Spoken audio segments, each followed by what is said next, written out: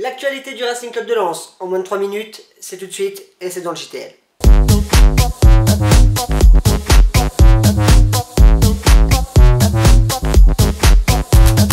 Lors de la réunion des commerçants lensois, le RCL avait dépêché Jean-Marie Bomba et Didier Roudet pour évoquer le nouveau Bollard et de nombreuses informations ont été dévoilées. Les travaux dureront un an et demi et commenceront d'ici mars 2014 pour les alentours du stade. Concernant la capacité, elle devrait être de 35 056 places pendant l'Euro, puis de 38 000 après cette compétition du fait d'un réaménagement des tribunes. Un nouveau toit couvrira l'ensemble du public, tandis que les friteries seront directement intégrées à l'enceinte sans. D'ici quelques semaines, la boutique dédiée au sang et or Émotion Foot va déménager. Afin de laisser toute la place aux travaux de réaménagement autour du stade Félix Bollard, la boutique officielle va quitter l'entre-Lensois pour se retrouver au sein du centre-ville de Lens.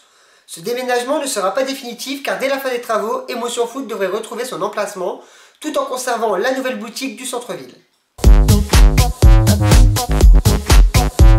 Lens va regarder avec attention la demi-finale de Coupe de la Ligue ce soir sur France 3. En effet, les deux futurs adversaires du RCL, l'OL et Troyes, s'affrontent pour atteindre le Stade de France et affronter le PSG, vainqueur de Nantes 2-1.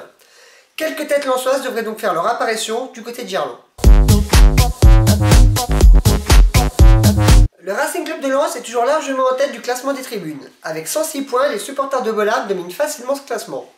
En effet, le second, 3, a 20 points de retard sur les fans de sang et or. Le Racing Club de Lens est donc bien parti pour être une nouvelle fois nommé meilleur public de France.